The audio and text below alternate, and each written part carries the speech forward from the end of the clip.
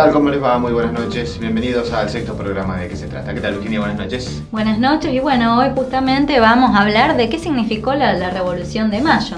Estamos a muy poquitos días de cumplir el bicentenario de este 25 de mayo de 1810 que vivía la República Argentina y hay mucho por contar. Es por eso que hemos invitado también a historiadores que tenemos en Marcos Juárez que van a estar hablando con nosotros en nuestra mesa sobre los eh, 200 años de la Revolución de 1810. Y también hemos estado en la calle y hemos consultado a las personas acerca de eh, la significancia de la Revolución de Mayo y puntualmente qué pasó el 25 de mayo de 1810. ¿Qué pasó el 25 de mayo de 1810? Ah, la Revolución de Mayo. ¿Y qué significó ese día? ¿Qué significó? Una liberación. Bueno, una revuelta de patriotas de- apoyando en primera instancia la- eh, al rey Fernando ante la- el ataque, la invasión de Napoleón Bonaparte. Eso fue en un primer momento, ¿no? Después, bueno, se aprovecha para eh, los primeros eh, intentos, digamos, de liberación del país del dominio español. Y fue la independencia de la patria. La Revolución de Mayo, obviamente. Con la independencia después la hicieron seis años después. Ay, vos me preguntas a mí, que ni me acuerdo yo del estudio.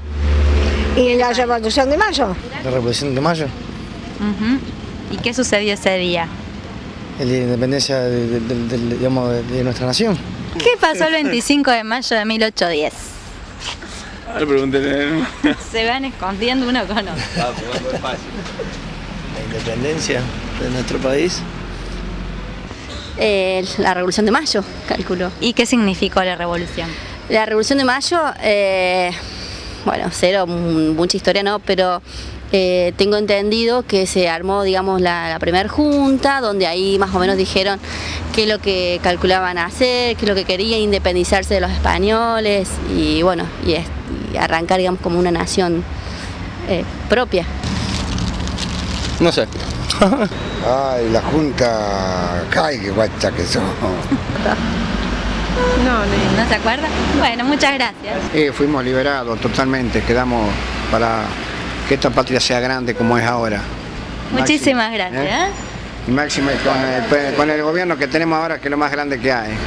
Este país ha sido transformado por los Kirchner, es lo más grande que tenemos. ¿Qué pasó el 25 de mayo? Oh, la Revolución de Mayo, que se independizó la... Uy, que me van a hacer hablar. Ni me acuerdo. ¿Tengo una preguntita? Sí. ¿Qué pasó un 25 de mayo de 1810?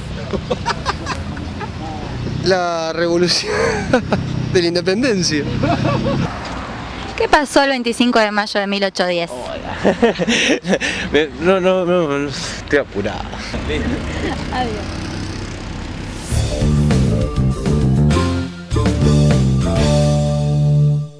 Veíamos las encuestas que realizamos en la calle, como cada semana estamos trasladando el tema que tratamos en este programa a los vecinos de Marcos Juárez. Y el desconocimiento es amplio, ¿no? Hay una, una gran confusión en cuanto a que es el día que se declara la, la independencia. Pero bueno, vamos a poder salvar estas dudas con la entrevista que tenemos a los historiadores, ¿no? Héctor de Cándido y Cristian Beltrán, profesores de historia de la ciudad de Marcos Juárez, se van a estar charlando con nosotros en el próximo bloque. Ya venimos.